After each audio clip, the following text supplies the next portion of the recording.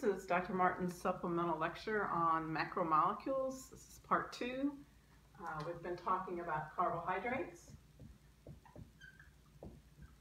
And I wanted to now take a, a second carbohydrate. We talked about starch um, earlier.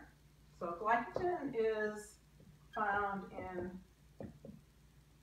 animal cells. Uh, in humans, we see it uh, in liver and muscle. It's also a storage form of energy. Again, composed of glucose units linked uh, end to end. Very long molecules. All right, the third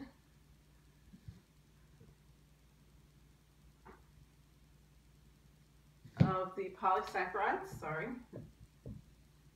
is cellulose. Uh, this is a plant uh, polysaccharide.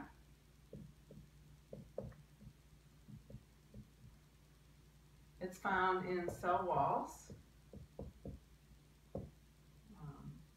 Found in uh, wood products,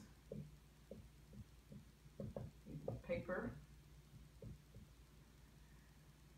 Uh, it is composed of, again, glucose uh, subunits.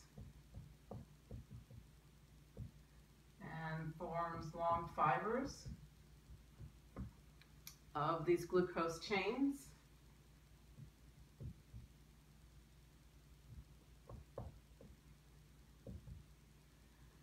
The, in this case, the cellulose supports the plant, provides some rigidity. Um, cellulose is also, uh, for us, a structural molecule um, because it really uh, doesn't have too many, um, there's not too many organisms that can actually break down cellulose. So we don't have the enzymes to break down cellulose. So when we eat plant products,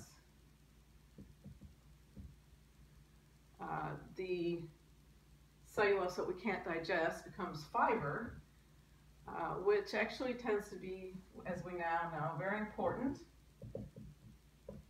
for the function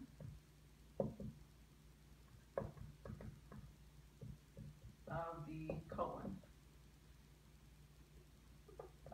So societies that eat a lot of fiber uh, tend to be uh, healthier as far as colon cancer and, and uh, digestive issues. The American diet is rather low in fiber, and so we tend to have, uh, we're always being told we need to eat more fiber. There are few, as I mentioned, few organisms that can digest cellulose. Most of those are unicellular. Uh, they're bacteria or single-celled organisms. Some of them might live in the gut of a larger animal. For example, cows, horses eat lots of cellulose, lots of plant material but they rely on enzymes from bacteria that live in their gut to actually digest the cellulose. Uh, same with um, termites. They, the termite itself can't make the enzymes. It's uh, an organism that lives in the gut of the termite uh, that can actually digest, um, break down cellulose. Okay, I think that's everything that I wanted to say with regard to carbohydrates. Let's move on to a second category, which are, so this is number two, and this is a group that um, we would say is very heterogeneous because that means that in some ways there's a lot of differences among the uh, molecules that make up this group.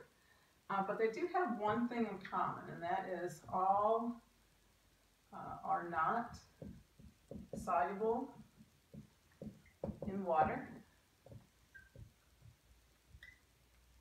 uh, but are soluble uh, in oils, substances like that. Lipids are mostly composed of carbon and hydrogen, uh, very few oxygens or nitrogens, basically uh, these elements. And there's a word that we use for molecules that don't get along with water, that, that don't uh, mix with water. We call them hydrophobic, uh, which literally means that they have a phobia of water. And these uh, lipids are all hydrophobic. All right, so let's take a look at who this group includes. And so we're going to include uh, a group called the phospholipids. Uh, we've got cholesterol plus other uh, steroids. Uh, got a group that are called neutral fats. You might just hear them referred to as fats. And I believe that I want to talk about. Okay, those are the three. All right. Phospholipids are very important in cell membranes.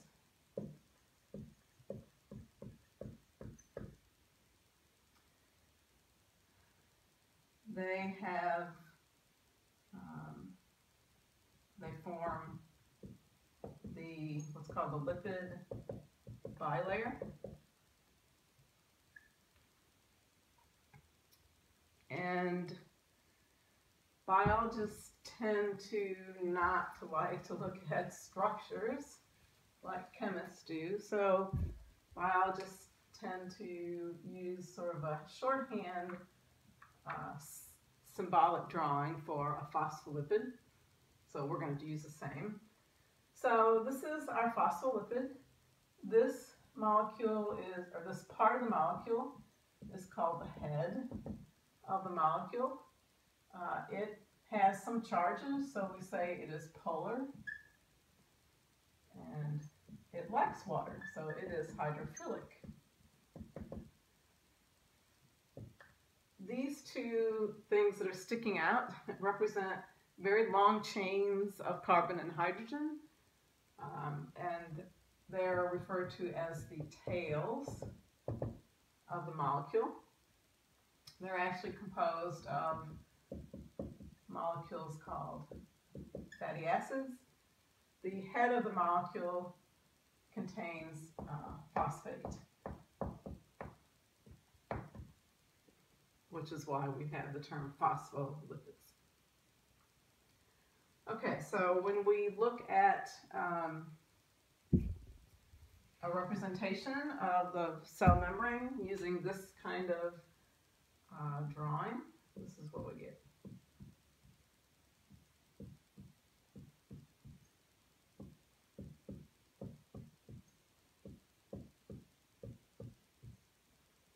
So this is called a bilayer, lipid bilayer,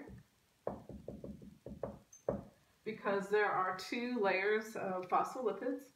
Uh, what happens is that these molecules will actually self-assembly. Uh, in other words, they, if you put a bunch of phospholipids uh, in a water environment, they're always going to uh, orient themselves in this way. So, sorry about that. Uh, the internal area right in here, this is all hydrophobic. So it is excluding water. This is hydrophilic. And this area is hydrophilic. So this can face the outside of the cell, the environment. This can face the cytoplasm. And both are composed uh, mainly of water, so they are able to interact with water. Okay, I'm going to stop there and we'll continue a little bit later.